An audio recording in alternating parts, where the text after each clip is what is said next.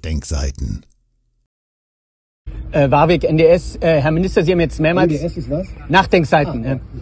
ähm, Sie haben jetzt mehrmals ausgeführt oder nochmal betont, dass dies kein NATO-Hauptquartier ist.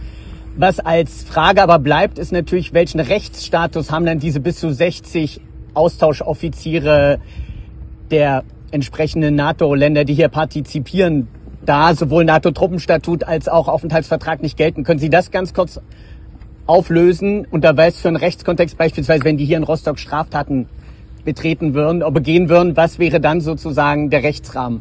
Das ist relativ einfach, da ich ja weiß, für wen und warum Sie fragen, kann ich Ihnen das gerne beantworten.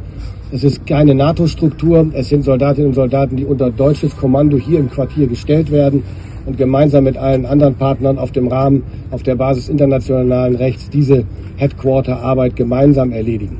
Aber die Frage war ja, welches nationale Recht würde greifen bei diesen Soldaten, wenn sie Straftaten begehen? Deutsches Recht oder in dem Fall dann schwedisches, polnisches? Ich kenne die Statuten jetzt nicht genau, aber ich gehe davon aus, nationales Recht. Können wir aber gerne nochmal nachliefern. Danke.